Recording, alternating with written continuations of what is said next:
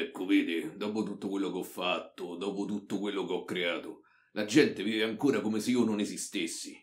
Certo, essere invisibile sicuramente alimenta questa sua sensazione di sentirsi incompreso. Eh, ma non è quello, sa? Perché non è che proprio mi ignorano, è che a volte sappiano proprio con me. Cioè, sia se succede una catastrofe che se sbattono il mignolo sul comodino. Beh, essersi dichiarato onnipotente e onnisciente sicuramente incentiva le sue creature ad inquadrarla come responsabile di quello che accade loro, è normale. Sì, vabbè, ovvio, so Dio, ma io non è che posso via tutti per mano, eh. Io di solito non intervengo, non sarebbe corretto, ecco. Beh, dunque lei si limita ad osservare. Ha creato questo universo con le sue regole, questo mondo con i suoi abitanti, ma non si adopera nel caso la vita di questi venga messa in pericolo. Non si prodiga per la loro gioia né evita il loro dolore, dico bene? Beh, detto così pare brutto, eh. No, io diciamo che qualcosa la faccio, magari a chi se lo merita. Dipende se uno mi prega tanto tanto o me particolarmente devoto.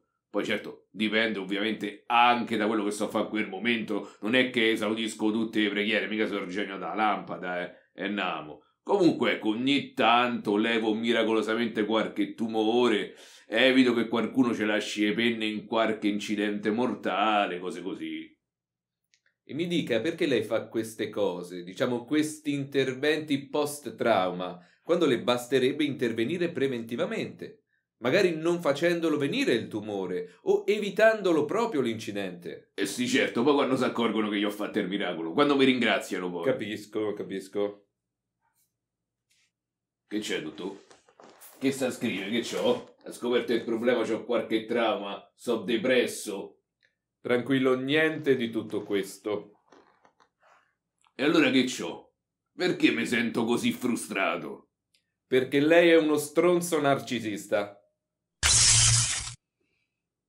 Che palle, mi tocca cambiare un'altra volta psicologo.